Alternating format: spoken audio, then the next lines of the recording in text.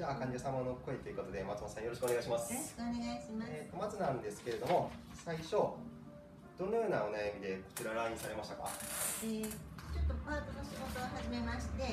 えー結構立ちっぱなしの仕事をしていまして、はい4、5時間なんですけど、立ちっぱなしの中にもはい結構しゃがんだり立ったりが多多いのと、はい。あの結構重たい荷物を持つことが多くなって、はい。である日も左足の膝がはいだんだん痛くなってきたんですけど、はい。もう全然もうしゃがむこともできなくなり、はいもちろん正座もできなくなり、はい。もうビッグを引くようになったんですね。はい。それでやっぱりこれはあのダメだと思って、はい。えっと、整形外科に行ったんですけどはい。で、まあ、レントゲン取ってらちょっと変形している水も溜まってるということで、はい。あの水を抜いていただきましたあ何回ぐらい抜いたんですか？2回抜きましたで。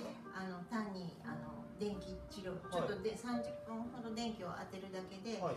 これといって何も効果なく。効果なかったのではであの友達にやっぱり整体行った方がいいよって言われて、それでこちらの前を通ってあの、はい。看板を見せてい。はい。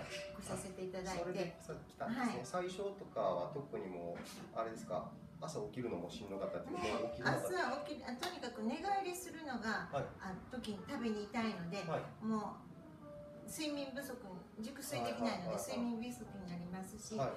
あの起き上がる時がやっぱりじっとじっとしててすぐ起き上がるっていうのが今までどうやって起きてたのかなって思うぐらい ね起き上がれなくなって、そして、まあ、電車とかでも座ってた後、はい。立つ時がもう痛くて立ち上がった後が痛くて、一歩二歩が三歩があるなんか痛くって、それでこちらで来て。階段とかは？階段とかは？階段も全然あのまあ上りはともかくもう降りる方が辛かったです。降りる方が全然、降りれなかったんですねはい痛すぎて、はい。なるほどでそんな感じで当院に最初来られたんですけれども、はい。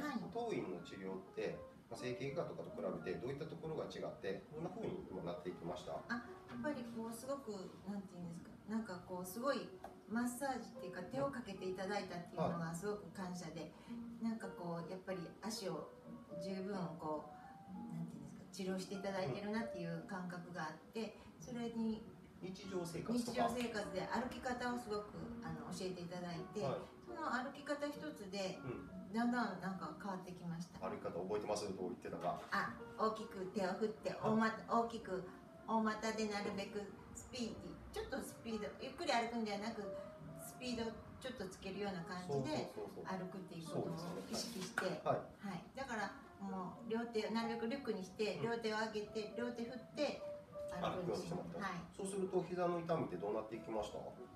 いつの間にかなんか薄れてきました。薄れていきました、はもう今は全然さっき言ってたような痛みとかもなく日常生活過ごせてるんですか？あはい。あの、だんだん徐々にしゃがめるようにもなりましたし、正座もちょっとできるようにできるようになってきたんですね、階段とかも全然大丈夫、はい、はい、階段も普通に。寝返りもできてます。寝返り分のね。ね。朝までちゃんと寝れね、ます、よかったですなるほど。もうそれ一番大切ですね、はい。寝れないと辛いですもん寝ねれないと辛かったです。そうですよね、はい。うん。とはいはい。じゃあ設計良くなっていて特に他の日常生活で頑張ったこととかあります？なんか歩く以外で。歩く以外でやっぱりあの先生がおっしゃっていただいたあの運動っていうか、うん。あのテニスボールをこう押さえることと、でお風呂上がりにこうあ曲げたり伸ばしたり曲げたり伸ばしたりってするのをそれを結構あやりました。お風呂の中に入ってると結構なんか屈伸の的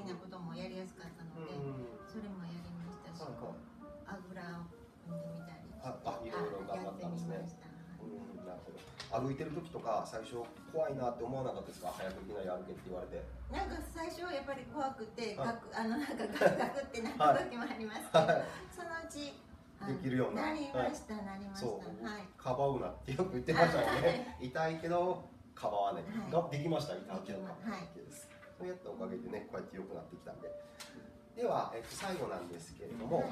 まあ膝痛いって整形外って治らないって悩んでる人っていっぱいいると思うんですけど、はい。その人に向けて一言だけでいいんで何かアドバイスいただけますか？あはい。やはりあの整形外科の悪口を言うわけではないですけど、やっぱりなんか水はあまり抜かない方がいいと思います。やっぱり、まあ、電気治療もなん。か緩い電気をビリビリで当てるよりもやっぱりこちらでこう直にあのこうマッサージっていうか血の巡りも良くしていただいて循環を良くしていただいたらあの治りが早かったと思います。そうですね、はい日常生活の動き方とかもすごい大切でしたはい、よね。そうです。日常生活で治ったと思います。そうですね。そはいっち大切ですからね。はいそうです はい。えーじゃああありがとうございました。ありがとうございました。